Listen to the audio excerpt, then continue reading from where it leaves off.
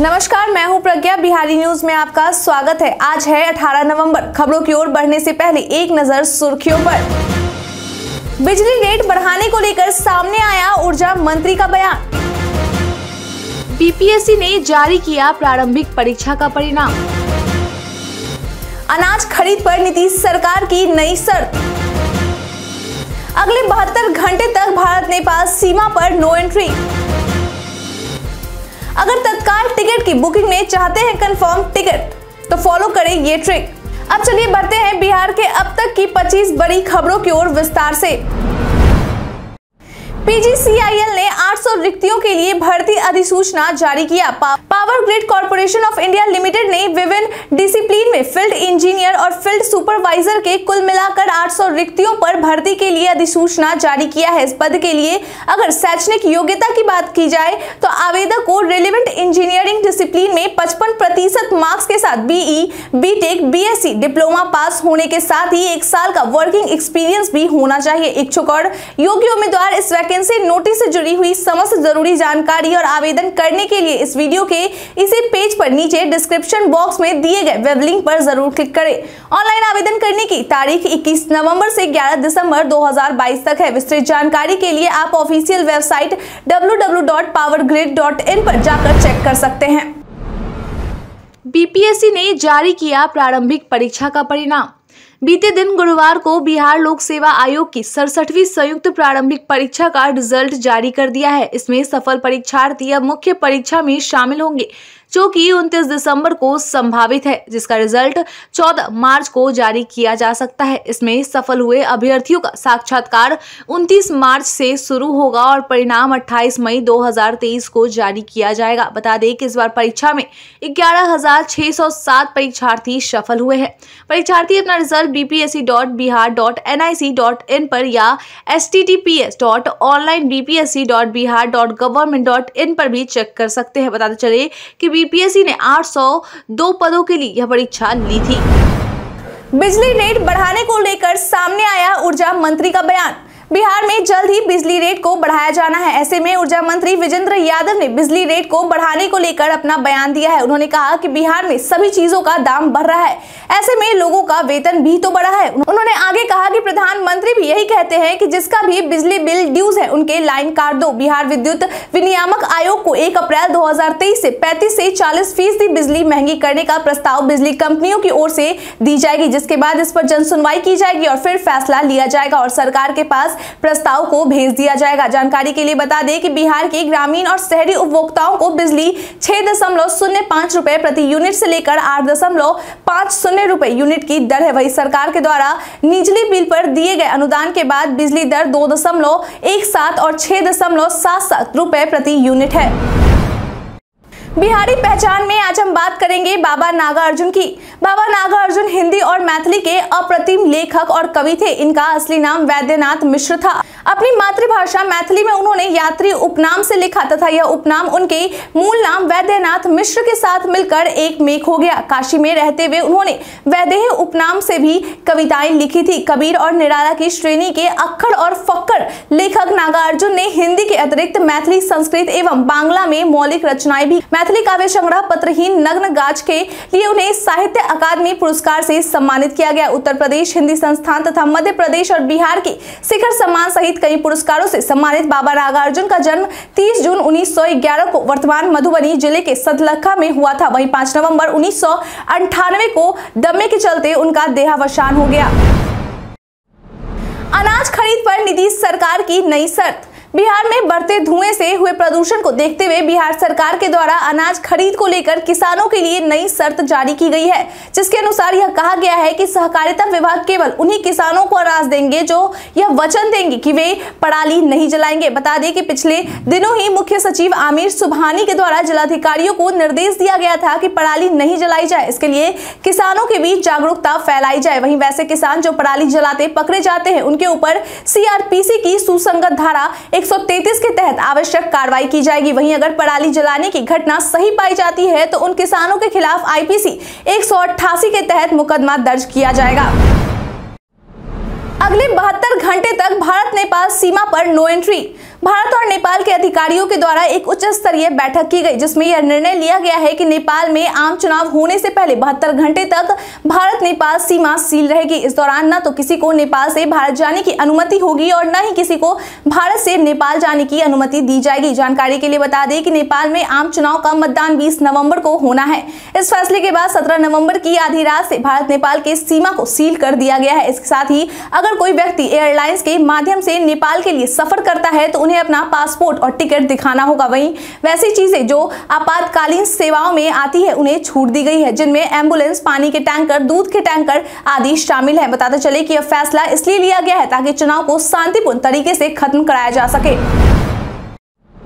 बिहार में अगले साल चालू होगा दो इकोनॉमिक कॉरिडोर। बिहार में पिछले कुछ सालों में सड़कों को लेकर सबसे ज़्यादा काम हुआ है। वहीं इन सबके बीच में एक खबर सामने आ रही है कि जिसमें यह बताया जा रहा है कि बिहार में दो इकोनॉमिक कॉरिडोर का निर्माण बहुत ही जल्द होने वाला है। अगर हम पहले इकोनॉमिक कॉरिडोर की बात करें तो यह वाराणसी से शुरू होकर बिहार में औरंगाबाद के रास्ते चोरदाहा तक जाएगी। इस कॉरिडोर के निर्माण में करीब पाँच हज़ार करोड़ रुपए खर्च होने की बात कही जा रही है। तो वही इसकी कुल लंबाई दो सौ बासठ किलोमीटर है, जिसकी लंबाई बिहार में एक सौ सैंतीस किलोमीटर की होगी। वही अगर हम दूसरे कॉरिडोर की बात करें तो यह कॉरिडोर पटना के बख्तियारपुर से शुरू होकर रांची के और मांझी तक जाएगी, जिसकी लंबाई 280 किलोमीटर है। बता दें कि इस कॉरिडोर के बनने में करीब सात हज़ार करोड़ रुपए खर्च होने की बात कही जा रही है, जिसकी लंबाई बिहार में 135 किलोमीटर की होगी। इसके साथ ही पटना में कन्हौली, रामनगर सहित तीन सड़कों का करीब 311 किलोमीटर लंबाई में अगले साल निर्माण पूरा हो जाएगा। आज से कटिहार में अग्निवीर भर्ती रैली शुरू। कटिहार में सेना भर्ती कार्यालय के द्वारा दी गई जानकारी के अनुसार अग्निपथ योजना के अंतर्गत अग्निवीर जीडी सहित अन्य पदों पर भर्ती के लिए भर्ती प्रक्रिया 18 नवंबर से 2 दिसंबर तक पूरी हो जाएगी। इस दौरान 18 नवंबर से 2 दिसंबर तक कुल 12 ज़िले भर्ती रैली में भाग लेने के लिए कटिहार पहुँचेंगे, जिनमें अररिया, बांका, बेगूसराय, भागलपुर, खगड़िया, किशनगंज, मधेपुरा, मुंगेर, पूर्णिया, सहरसा और सुपौल शामिल है। कटिहार में इस रैली की शुरुआत दोपहर दो बजे से गढ़वाल मैदान सेना कैंप सिरसा कटिहार में होगी। बता दें कि इस भर्ती रैली को लेकर विधि व्यवस्था सुधारण के लिए दंडाधिकारी व पुलिस पदाधिकारी पुलिस बलों की प्रतिनियुक्ति करने की भी अनुरोध की गई है। बिहार के दिव्यांग भी आपदा में कर सकेंगे अपना बचाव। आपदा के वक्त दिव्यांग खुद की मदद नहीं कर पाते। इसी को देखते हुए बिहार राज्य आपदा प्रबंधन प्राधिकरण एनआईटी, पटना और आईआईटी दिल्ली के छात्रों के सहयोग से एक सेंसर लगे उपकरण का निर्माण कर रहा है ताकि विभिन्न तरह के सिग्नल बनाकर जिलों को दिया जा सके और आपदा के वक्त दिव्यांग भी खुद से अलर्ट कर सके। इस सिग्नल को सभी दिव्यांग फरवरी माह तक समझ जाए। इसके लिए इसे दिव्यांगों के स्कूल और हॉस्टलों में सुनाया जाएगा। हालाँकि इसके लिए प्रथम चरण की ट्रेनिंग में पटना के पाँच दिव्यांग स्कूलों को चुना गया है, जिनमें पढ़ने वाले 600 छात्रों को शामिल किया जाएगा। वहीं अगर राज्य की बात करें तो राज्य में पूरे तीन लाख स्कूलों में सेंसर को लेकर दिव्यांग को जागरूक किया जाएगा। इस ट्रेनिंग के दौरान दिव्यांगों को यह भी सिखाया जाएगा कि वे खुद के साथ साथ अपने पेरेंट्स को भी कैसे बचा सकते हैं। ड्रग इंस्पेक्टर निकला काली कमाई का कुबेर। विजिलेंस की टीम के द्वारा जब घुसखोर ड्रग इंस्पेक्टर नवीन कुमार के घर छापेमारी की गई तो इंस्पेक्टर घुसखोरी की रकम अपनी अयाशी में उड़ाता हुआ रंगे हाथों पकड़ा गया। बता दें कि विजिलेंस की टीम के द्वारा की गई छापेमारी के दौरान उसके ठिकाने से दो लाख कैश बरामद हुए। इसके साथ ही जब घर की और भी तलाशी ली गई तो सोने के बर्तन और जेवरात बरामद हुए हैं। जिसके बाद यह देखकर विजिलेंस की टीम पूरी तरह से चौंक गई। मिली जानकारी के अनुसार ड्रग इंस्पेक्टर ने सीतामढ़ी ज़िले के एक दवा दुकान के भौतिक सत्यापन के नाम पर दो लाख रुपए रिश्वत की मांग की गई थी, जिसके बाद दवा दुकानदार ने इसकी शिकायत विजिलेंस विभाग से की गई। मिली इस जानकारी के बाद ही विजिलेंस की टीम के द्वारा ड्रग इंस्पेक्टर के घर छापेमारी की गई। जाने किसान चौपाल कार्यक्रम का मुख्य उद्देश्य बिहार सरकार की ओर से सभी पंचायतों में किसान चौपाल कार्यक्रम लगाया गया है, जिसमें किसानों को कृषि से जुड़ी सभी चीज़ों के बारे में जानकारी दी जाएगी। जानकारी के लिए बता दें कि बिहार सरकार के द्वारा लगाई गई इस किसान चौपाल की शुरुआत 15 नवंबर से कर दी गई है, जो कि 5 दिसंबर तक चलेगी। इस चौपाल में नुक्कड़ नाटक के ज़रिए किसानों को जागरूक करने का काम किया जा रहा है। इसके साथ ही कृषि विभाग के द्वारा किसानों को यह भी जानकारी दी जा रही है कि वे किस तरह अपनी आमदनी में वृद्धि करा सकते हैं और किस तरह से आत्मनिर्भर बन सकते हैं। इस कार्यक्रम का का मुख्य उद्देश्य यही है कि किसानों तक सभी महत्वाकांक्षी योजनाओं को पहुँचाया जा सके। उनकी दिक्कतों का समाधान उन तक पहुंचाना, कृषि की नवीनतम तकनीकी की जानकारी देना, किसान उत्पादक संगठन के गठन के बारे में जानकारी देना है। कोरोना का खतरा कम होने के बाद हवाई यात्रियों को बड़ी राहत नागरिक उड्डयन मंत्रालय के द्वारा कोरोना काल के दौरान यह नियम लागू किया गया था कि विमान यात्रा के दौरान यात्रियों को फेस मास्क पहनना ज़रूरी है, नहीं तो यात्रियों को जुर्माना देना पड़ सकता है। बता दें कि अब इस नियम में छूट दे दी गई है। नागरिक उड्डयन मंत्रालय के द्वारा कहा गया है कि अब हवाई यात्रा के दौरान फेस मास्क अनिवार्य नहीं होगा और न ही फेस मास्क को लेकर फ़्लाइट के अंदर की जाने वाली घोषणा में जुर्माना या दंडात्मक कार्रवाई की बातें कही जाएँगी। इसके साथ ही उन्होंने बताया कि इस बारे में स्वास्थ्य और परिवार कल्याण मंत्रालय के द्वारा समीक्षा बैठक भी की गई है।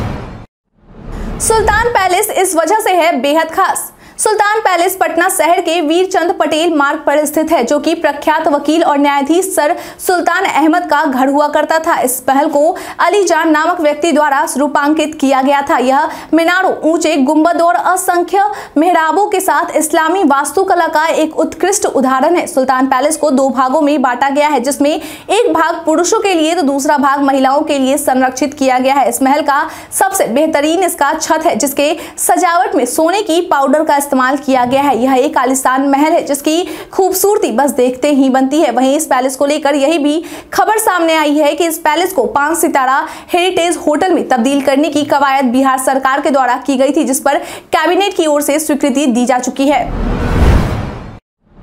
तीन माह तक रहेंगी ये चार रेलगाड़ियाँ रद्द। संभावित कोहरे को देखते हुए रेलवे के द्वारा दिसंबर महीने से फरवरी महीने तक दो जोड़ी एक्सप्रेस ट्रेनों को रद्द कर दिया गया है। बता दें कि जिन चार ट्रेनों को रद्द किया गया है उनमें पहली ट्रेन संख्या एक चार शून्य शून्य तीन मालदा टाउन है, जिसे तीन दिसंबर से लेकर अट्ठाईस फरवरी तक रद्द कर दिया गया है। वहीं दूसरी ट्रेन संख्या एक चार शून्य शून्य चार डाउन दिल्ली है, जिसे एक दिसंबर से छब्बीस फरवरी तक रद्द कर दिया गया है। इसके साथ ही सप्ताह में एक दिन जमालपुर के रास्ते चल रही कामाख्या गया एक्सप्रेस का परिचालन पाँच दिसंबर से सत्ताईस 27 फरवरी और गया से कामाख्या के बीच 6 दिसंबर से 28 फरवरी तक नहीं होगा। इसके साथ ही विक्रमशिला एक्सप्रेस अप और डाउन मार्ग में सप्ताह में पाँच दिन ही चलेगी। इसे लेकर रेलवे के द्वारा अधिसूचना जारी कर दी गई है।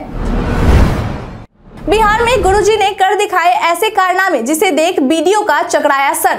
बिहार के शिक्षा व्यवस्था को लेकर आए दिन बातें की जाती है। इसी बीच एक और मामला भागलपुर से आया है, जहाँ के शिक्षक ने ऐसा कारनामा दिखाया है कि बीडीओ का सर चकरा गया। जानकारी के लिए बता दें कि बीडीओ भागलपुर ज़िले में नवगछिया के कोसी पाड़ पंचायत खैरपुर कदवा के प्राथमिक विद्यालय निरीक्षण करने के लिए पहुँचे थे, जहाँ उनका दिमाग तब घूमा जब उन्होंने वहाँ की एक दीवार पर कार्यालय की जगह कार्यालय लिखा देखा, जिसके बाद उन्होंने तुरंत प्रिंसिपल पवन कुमार को बुलाया और उनसे सवाल जवाब करने लगे। उन्होंने प्रिंसिपल को कहा कि 50 में दो से भागा दे, जिसका उत्तर वह नहीं दे सके। जिसके बाद उन्होंने प्रिंसिपल से ऑरेंज की स्पेलिंग पूछी, जिसके जवाब में प्रिंसिपल ने ओ आर आई जी बताया। जिसके बाद जब उन्होंने प्रिंसिपल से उनके नाम के स्पेलिंग पूछी, जिस पर उनका जवाब पी ओ एन था, इसी दौरान इस पूरी घटना का वीडियो बना लिया गया और इसे सोशल मीडिया पर पोस्ट कर दिया गया, जो अब तेज़ी से वायरल हो रहा है।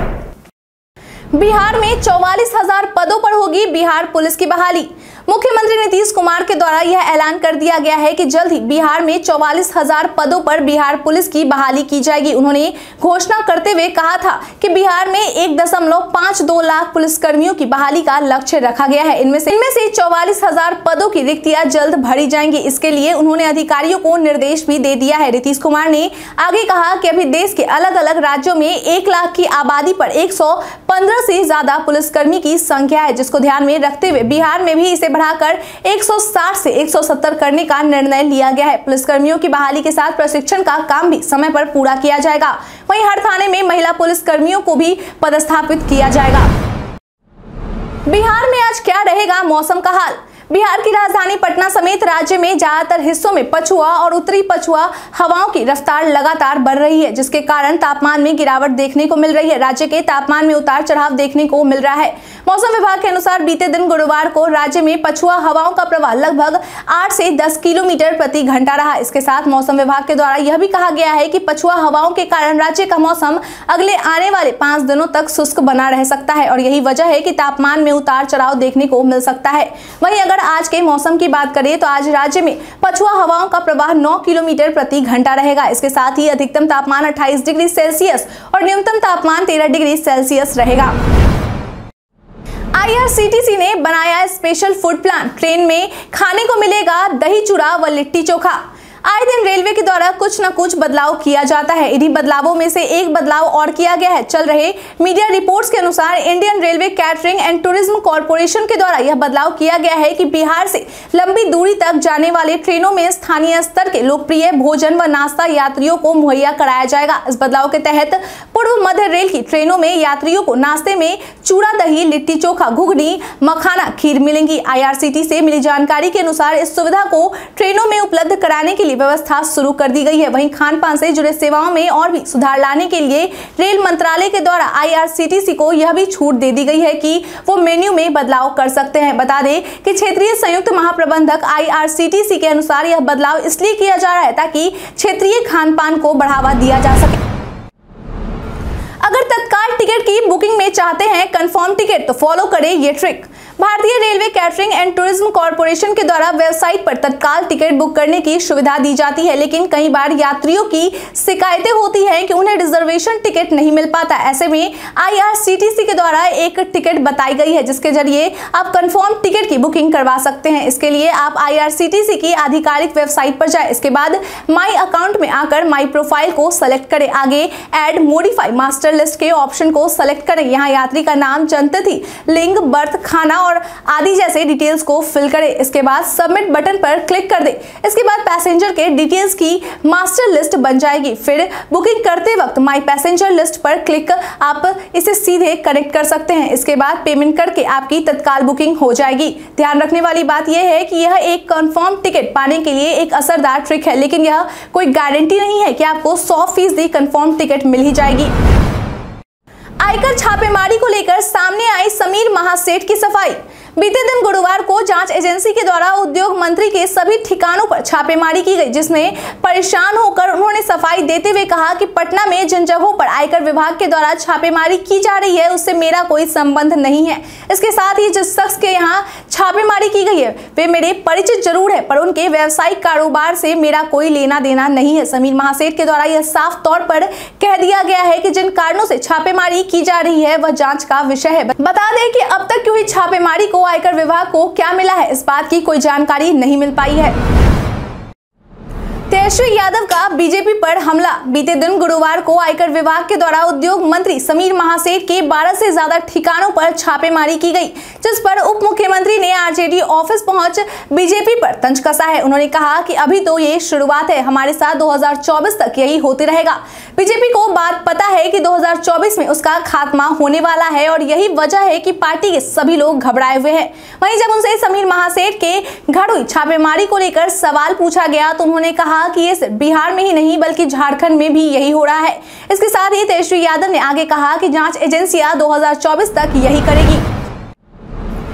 टी सीरीज़ की शुरुआत से पहले कोच लक्ष्मण का सफलता मंत्र 18 नवंबर से, यानी कि आज से भारत और न्यूजीलैंड के बीच टी सीरीज़ की शुरुआत होने वाली है। वहीं दूसरी ओर इस टी सीरीज़ की शुरुआत होने से पहले एनसीए हेड वीपीएस लक्ष्मण ने सफलता का मंत्र बताया है। उन्होंने कहा कि टी फॉर्मेट में आपको आज़ादी के साथ और निडर होकर गेम को खेलना होगा, लेकिन इसके साथ ही आपको हालातों को भी देखना होगा, खेलना होगा और टीमों की जरूरतों को समझते हुए उसे पूरा करना होगा। अगर आप टी क्रिकेट में खुद को व्यक्त करते हैं, तभी आप खुद को सफल होते देख सकते हैं। उन्होंने कहा कि मेरे अनुसार टी क्रिकेट में खुली और स्पष्ट सोच की ज़रूरत होनी चाहिए। मैंने इस खिलाड़ियों के साथ जो भी समय बिताया है, उन्हें अद्भुत अंतर्राष्ट्रीय खिलाड़ियों के रूप में उभरते देखा है। उन्होंने आगे कहा कि मुझे लगता है कि उनकी यही सबसे बड़ी ताकत है। भारत के इतिहास में आज की तारीख कई कारणों से है दर्ज। महाराजा जय सिंह द्वितीय ने 1727 में जयपुर शहर की स्थापना की। शहर के वास्तुकार बंगाल के विद्याधर चक्रवर्ती थे को 1972 में राष्ट्रीय पशु चुना गया। भारत की मानुसी चिल्लर ने जीता मिस वर्ल्ड 2017 का खिताब। फिल्मकार, अभिनेता वी शांताराम निर्देशक का जन्म 1901 में हुआ। भारत के प्रसिद्ध क्रांतिकारियों में से एक बटुकेश्वर दत्त का जन्म 1910 में हुआ। तमिल भाषा के विद्वान और प्रख्यात समाज सुधारक चिदम्बरम पिल्लई का उन्नीस 1936 में निधन। परमवीर चक्र से सम्मानित भारतीय सैनिक सैतान सिंह का निधन उन्नीस सौ बासठ में हुआ। धीरेन्द्र नाथ गांगुली, बंगाली सिनेमा के प्रसिद्ध अभिनेता और निर्देशक धीरेन्द्र नाथ गांगुली का निधन उन्नीस सौ अठहत्तर में हुआ। अशोक चक्र से सम्मानित भारतीय वायुसेना के शहीद गरुड़ कमांडो में से एक ज्योति प्रकाश निराला का निधन 2017 में हुआ। वायरल खबर में आज हम बात करेंगे संसद के आगामी शीतकालीन सत्र के बारे में। सोशल मीडिया पर कई सूचनाएँ वायरल होती है, लेकिन सभी सच हो, ये ज़रूरी नहीं है। इसी कड़ी में आज हम बात करेंगे आगामी संसद के शीतकालीन सत्र में एक विधेयक पेश किए जाने के बारे में। दरअसल, पीआईबी ने अपने एक ट्वीट में लिखा है कि एक ट्वीट में फर्जी दावा किया जा रहा है कि संसद के आगामी शीतकालीन सत्र में एक विधेयक पेश किया जाएगा, जिसके द्वारा खुफिया ब्यूरो प्राथमिकी दर्ज करने, मामले की जाँच करने और पूछताछ के लिए लोगों को बुलाने में सक्षम हो सकता है। पीआईबी ने अपने ट्वीट में आगे लिखा है कि ये दावे पूर्णतः फर्जी एवं तथ्यहीन है। संसद के आगामी शीतकालीन सत्र में इस तरह का कोई विधेयक पेश नहीं किया गया है। जाने व्हाट्सएप का पोल फीचर कैसे करता है काम। मेटा ने हाल ही में अपने व्हाट्सएप यूज़र्स के लिए नए फीचर्स पेश किए थे। इन्हीं फीचर्स में से एक फीचर पोल भी है। बता दें कि अगर व्हाट्सएप चैट में एक बार पोल बन जाने के बाद इसके लिए 12 विकल्प मिलेंगे। वहीं अगर ग्रुप के सदस्यों के साथ पोल साझा करने के बाद वे अपनी पसंद के अनुसार एक विकल्प चुन सकते हैं। इसके साथ ही जैसे ही कोई नया वोट जोड़ा जाता है तो पोल अपने आप अपडेट हो जाता है। यूज़र पोल परिणामों को देखने वालों से संबंधित जानकारी देख सकते हैं। वे सी वोट विकल्प पर टैप करके यह भी जान सकते हैं कि किसने पोल देखा है। है अगर आप भी पोल क्रिएट करना चाहते हैं तो अपने मोबाइल डिवाइस पर पर्सनल चैट खोले। अब मौजूद अटैच बटन पर टैप करें और उसमें से पोल आइकन चुने और पोल क्रिएट हो जाएगा। अब आस्क क्वेश्चन विकल्प के माध्यम से आप जो प्रश्न पूछना चाहते हैं, उसे दे। अब एड बटन पर टैप करके पोल विकल्प दर्ज करें।